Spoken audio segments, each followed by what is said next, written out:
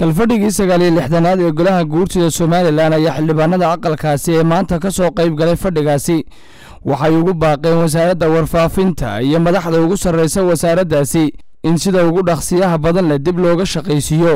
Idaacaddii qaranka ee laga dhagaysan jiray dalka dibaddiisa oo ku dhowaad sannad aan shaqaynin. Ku socotay shirguddoonka golaha guurtida ujeeddo soo gudbintii warbixintii iyo tala soo jeedintii kala fadhigii lixdan iyo sagaalaad guddoomiyeyaasha guddiga iyagoo ka duulaya doodii mudanayaasha ee kala fadhiga lixdan iyo sagaalaad iyo waajibaadka guddiyada ee ku qeexan xeer hoosaadka golaha waxay soo jeediyeen arrimahan hoos ku qoran.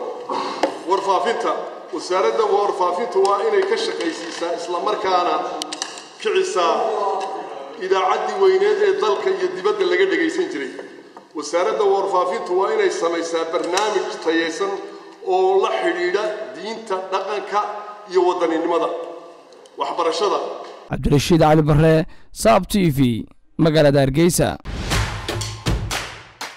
Adeega cusub ee shirkadda dahabshiil iyo ii dahab casriyeynta hanaanka cusub ee xawilaadda dahabshee haddaba macmil adeegan cusub ee casrigaahi waxa uu kuu sahlayaa in adigoo jooga gurigaaga hoose goobtaada shaqo.